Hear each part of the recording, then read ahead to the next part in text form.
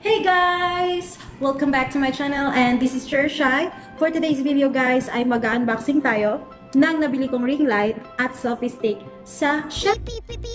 Ang dami mi mi mi mi mi bumili bumili sa Shopee. Before anything else, if you're not yet subscribed to my channel, please subscribe and hit the notif bell para mas updated ka.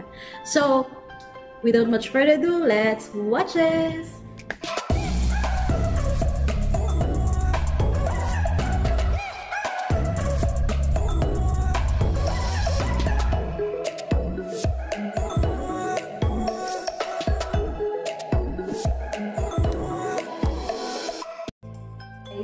Um, na nakabili ako ng maliit na ring light at selfie stick sa Shopee last May. Ay, nag-order ako last May and dumating siya ngayon lang, June. Matagal siya shinip out ng uh, seller. Pero it's okay kasi nakapag-ipon pa ako.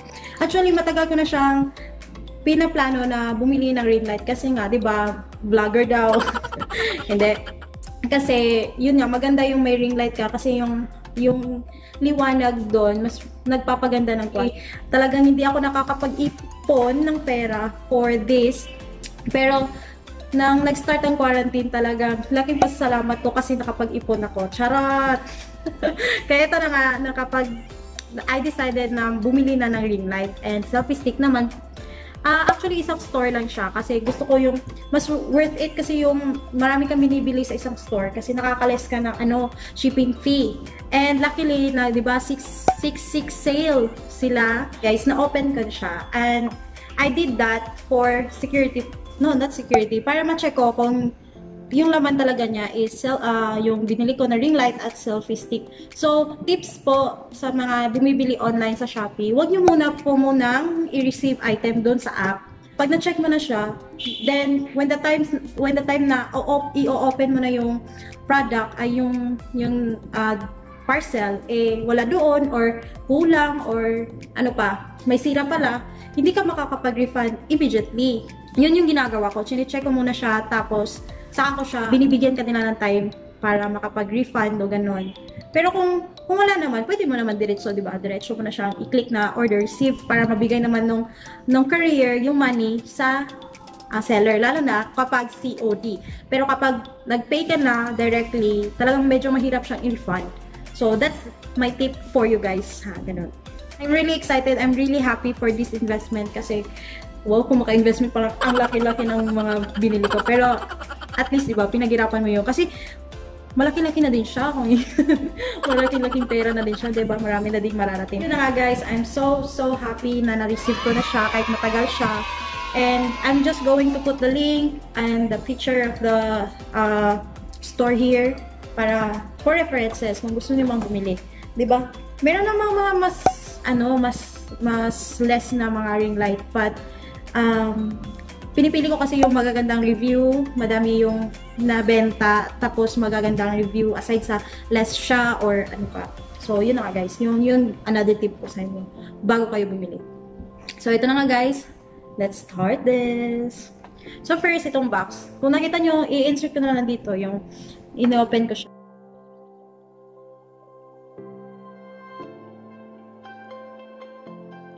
So, i-assemble ko siya in front of you guys.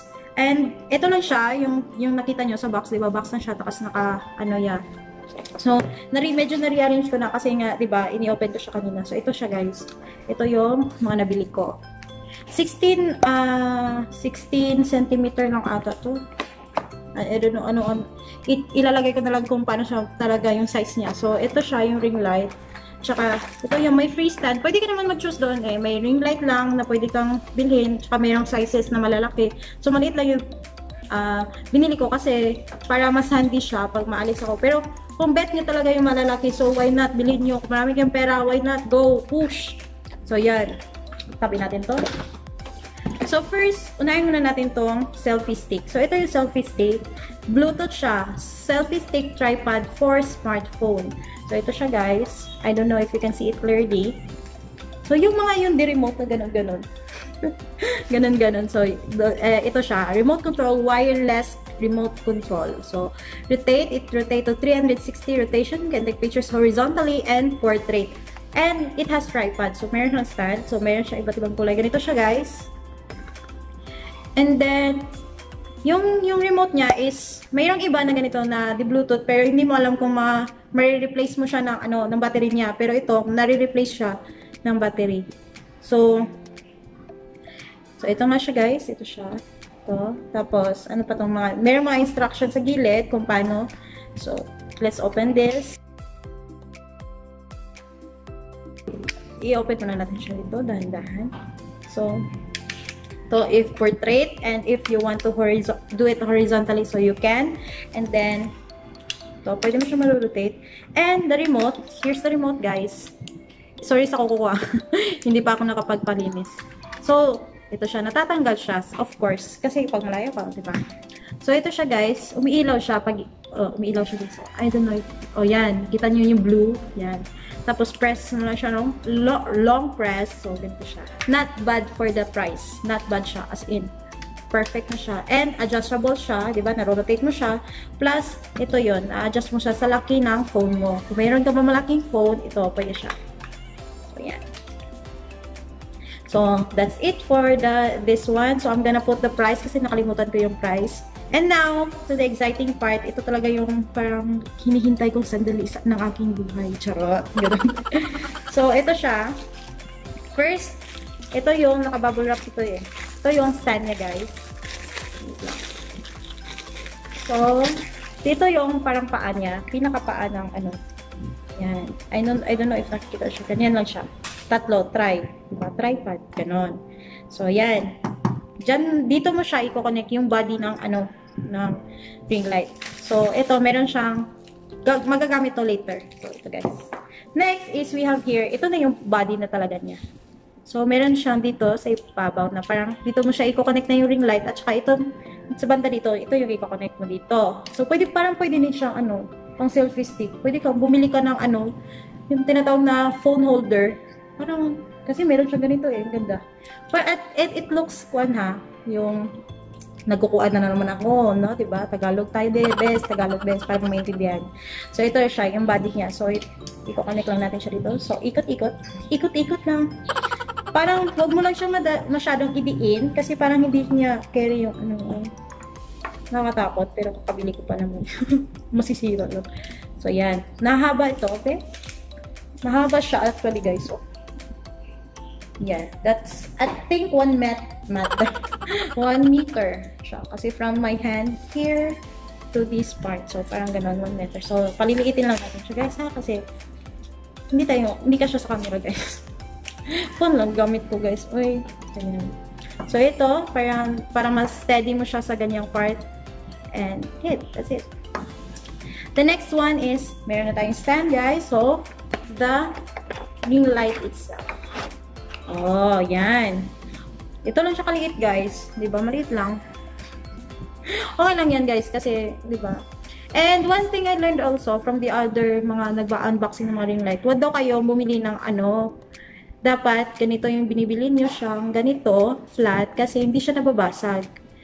Pero kung bet nyo naman din yung merong parang nakaumbok dito na ganon, pwede naman yun. Magandang quality kasi yung mga ganun. Pero pag once na natumba siya, mababasag talaga siya, guys. So, ito, medyo hindi, uwe. Yung wire niya, guys. So, atin siya. Mahaba din yung wire niya. So, mas mahaba siya ng mga 2 meters at ako. This is where you can adjust the light. Yung ano niya, yung kung if you want to turn it on, yung degree niya na kung gusto mo nang mas malinaw yung or ilales mo yung lightness niya, 'di ba? At saka meron din yung para i-change mo siya from light white light niya, then yellow light, then the combination of the white and the yellow light. So, ganon. So, parang may uses ta ang bawat lights. So, ito siya guys. At saka pala guys, USB type siya. Um, pwede mo siyang i-connect sa laptop mo, sa power bank, or kung wala, talaga, gusto mong isaksak talaga siya sa, ano, sa mga ganito, sa mga outlet, um, pwede kang puma, uh, bumili ng, or meron ka man sa charger ng phone mo na pwede mo siya isaksak doon. So, ito siya. So, i-connect natin siya dito, guys. So, ito yung, ito siya, guys. Yung parang pinaka-ball niya. Charot. Ganyan, guys.